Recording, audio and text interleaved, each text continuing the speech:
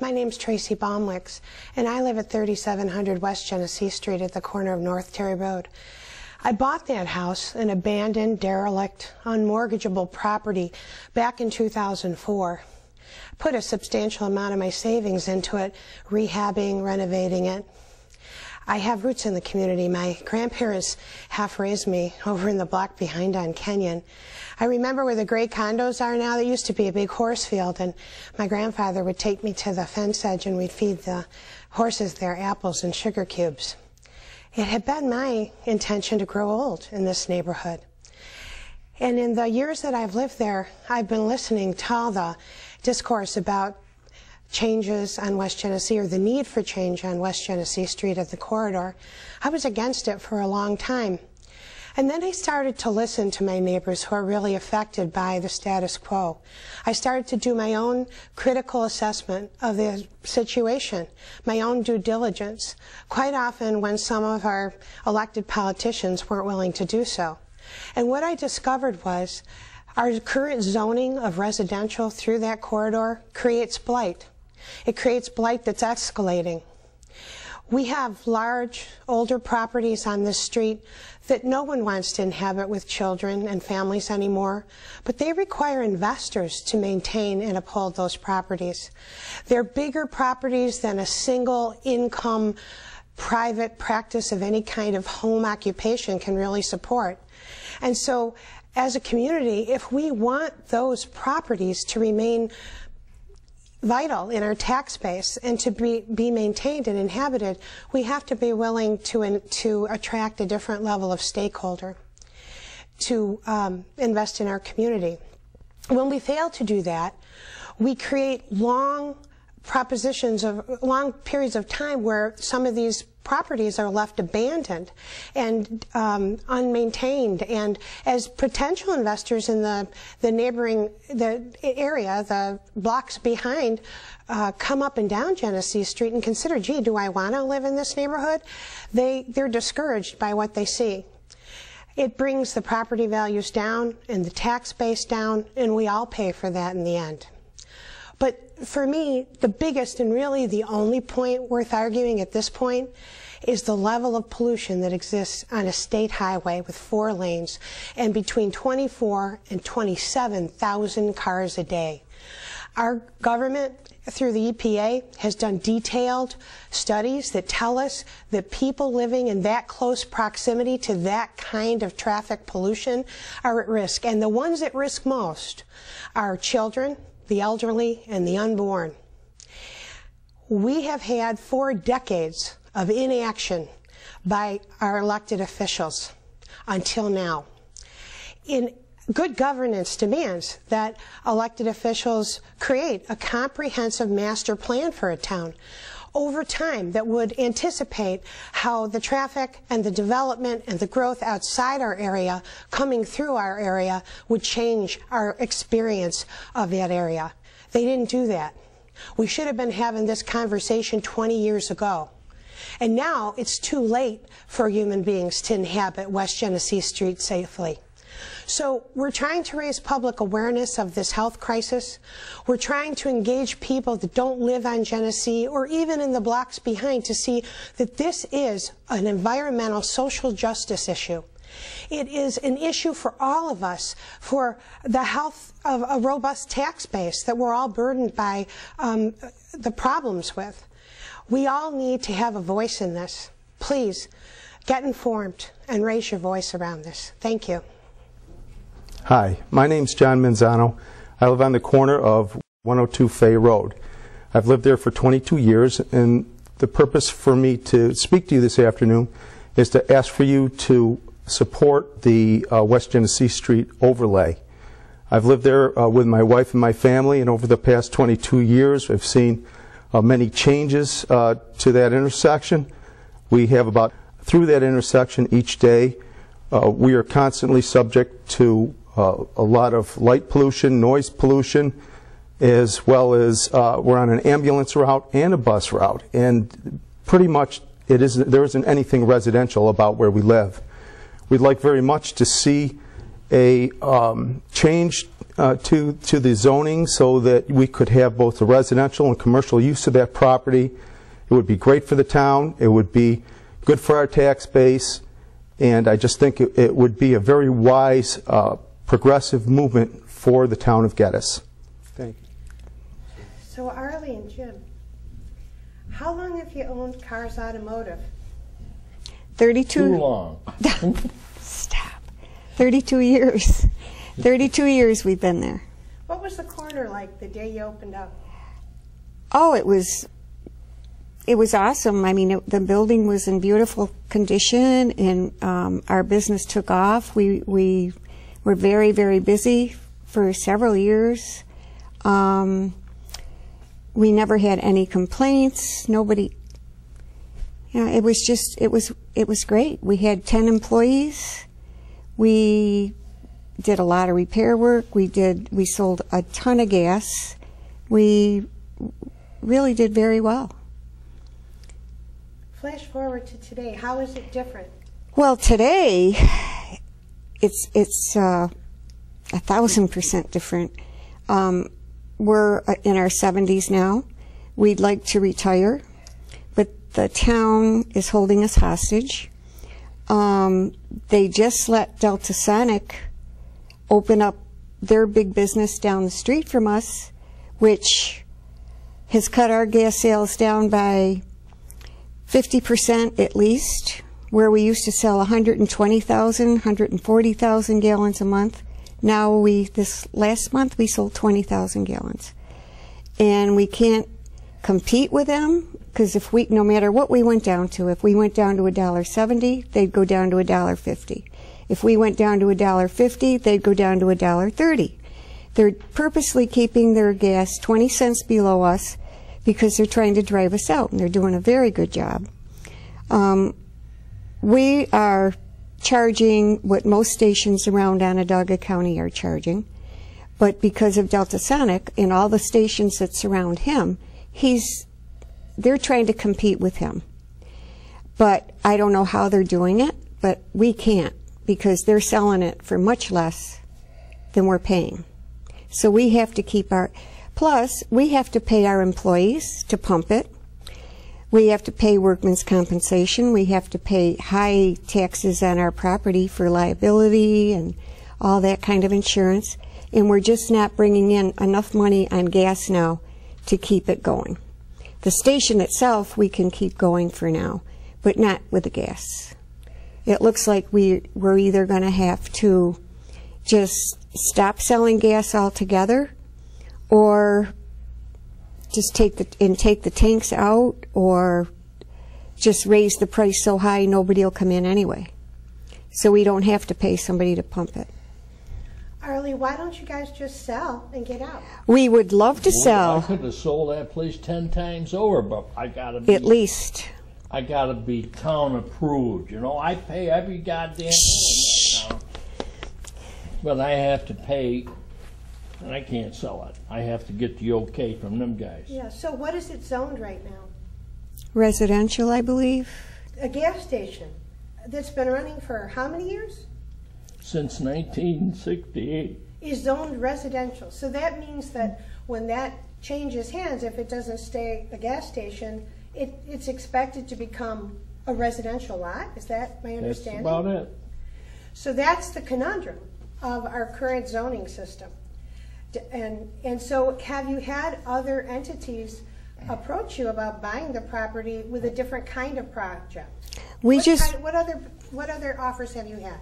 We, the latest, oh, we, Walgreens years ago, 12 years ago, offered it. They wanted it. And I personally thought Walgreens would be a great addition to the community. There are no uh, single gr- drugstores unless you go all the way down to Kinney or fight the traffic at Wegmans and then beyond. Then they're up in Camillus. But a small Walgreens is what they wanted. And of course, that was the first offer that we got that, that 12 years ago, and that went down the drain. I mean, the, the town, absolutely not. Nothing like that. And since then, we've had so many offers, and without it even being for sale, they just approach us and want the corner. And then as, soon as they find out that they can't do what they want to do, and they've all been gas stations except for the Walgreens. Well, no, I shouldn't. s- Eckerd's wanted it. Byrne Dairy wanted it. Um, oh, there's been so many, so so many. And the latest one was Stewart Shops. They were already to. They gave us a contract and everything. In Stewart Shops, I don't know if you're familiar with it, but it would have been a wonderful addition to the community. They they were going to rip down the station, put up their own building, which are they're adorable. Plus, they had the ice cream shop in there and and gas and everything. And then they then Delta Sonic opened, and he- they saw what they were doing. They were lowballing the price. They backed out of the deal, and that's been our last chance. And now the town says, "Oh, we can sell it, but we have to sell it to a repair shop and gas station." Now, I don't know if there's any other repair shop and gas stations in existence in Syracuse anymore. If there are, I don't know, except us. Now, there's no one going to buy it for a gas station repair shop anymore. It just doesn't. It just doesn't work. Pat's Automotive took out his gas tanks, and uh, now Delta Sonic, I'm sure, is going to force those other businesses that are close by to them. Eventually, they're not going to be able to keep selling it for that. And if you go to another Delta Sonic outside of our community, they're up there like everybody else. So once they get all the gas properties out of their their their way, then you're going to see their price go up. And that's exactly what's going to happen because that's what they're doing. How would um, the town adopting the new professional overlay and the special addendum that relates to your property change your situation at all? Well, then if somebody could come in there and build something that was nice but not a gas station or a repair shop, it would be wonderful. Then uh, my husband had a heart attack, two heart attacks, one last August and then one in September, and he's lucky to be alive. He, but he's not, you know, his he can't walk very good now, and his um, he can't work like he used to be able to work and keep the station going. And now we would love to put money in it, but it, for what? Nobody's going to buy it anyway, and it would just be a waste of money. Do you think if more people in the town of Geddes, the greater area, understood your dilemma, that they would care? Absolutely. Oh, I'm sure. No, I mean they would not. I mean they they'd love to see something go in there that's nice.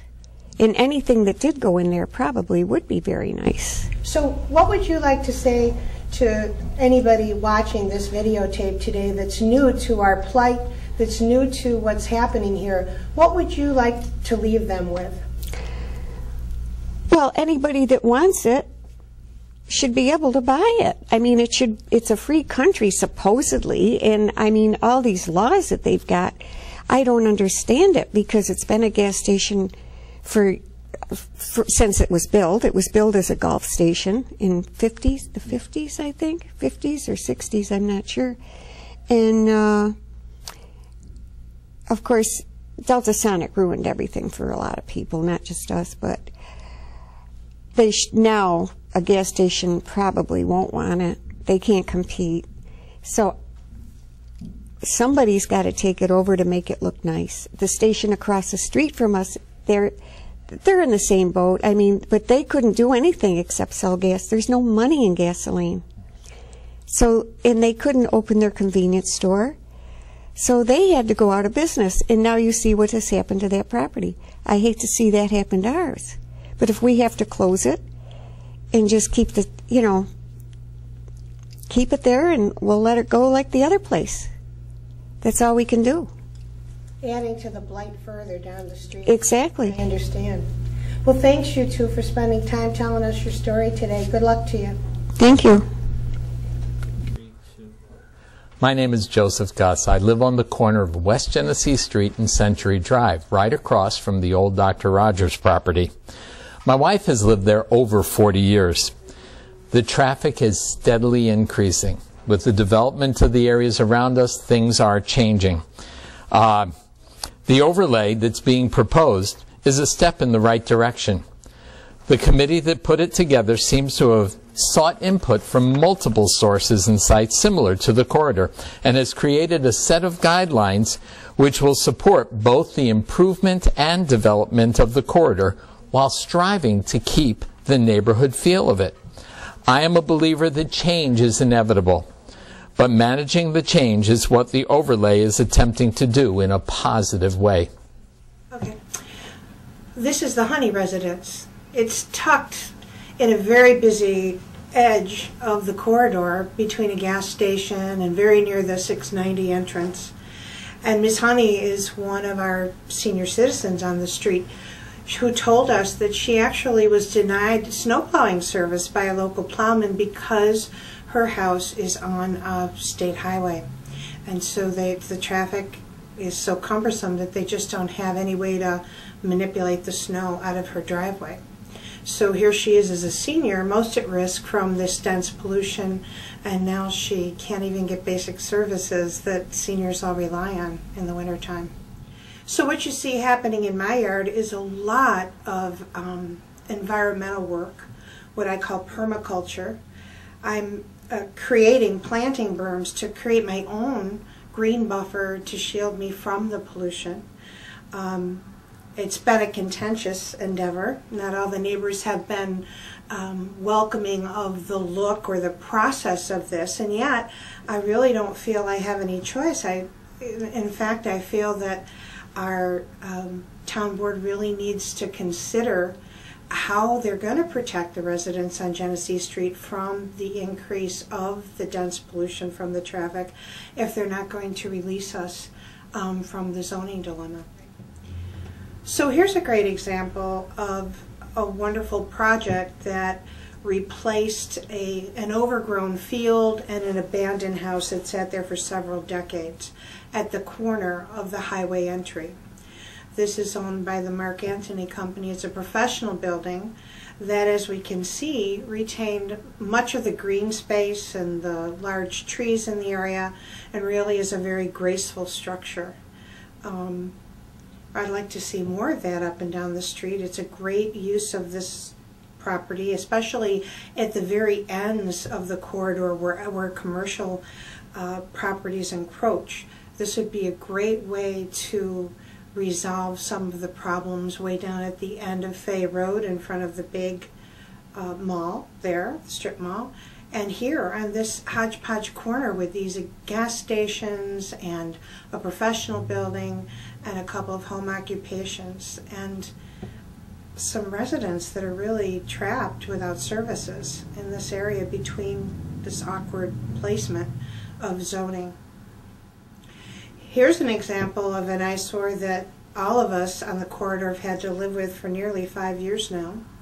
We have laws on the books that would have started a clock on this abandoned gas station and have forced the owner's hand into cleaning it up, removing the structure, removing the tanks.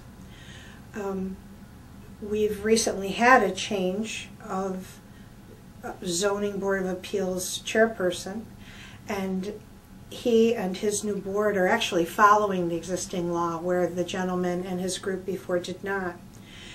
So what's the effect of having that abandoned gas station sit there all this time has been people coming up and down the street considering do they want to invest in this area, buy a home on Terry Road, um, or even on the corridor, and looking at the really um, discouraging fact that that gas station's been there unoccupied, unmaintained all this time. So again, we need robust zoning that will attract a stakeholder to invest in a property like that, clean it up, make a viable business that is that is kept in good repair, so that we add to our tax base instead of always detracting from it by letting these structures just uh, become uh, abandoned and derelict that was that's the house that I bought. A derelict, abandoned, unmortgageable property. I put a lot of my life savings into renovating it, and I've been essentially very happy here. The neighbors that lived behind me thanked me profusely in the months after I renovated the house a few years back. it was very discouraging for them to have uh, such a burden of an eyesore at you know as the entry to their lovely neighborhood.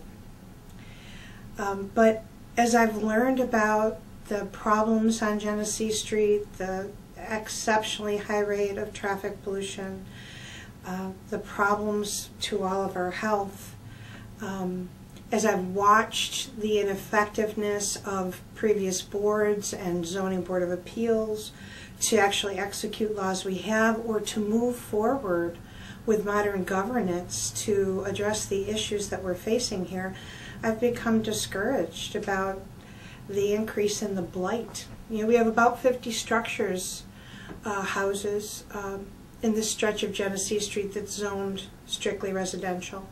10% of those structures are in some form of blight. They're abandoned, they're unoccupied, they've been up for sale at rock bottom prices for over a year and with no interest. People simply do not want to move children and families to the street anymore. We have to have a plan to attract the next level of stakeholder.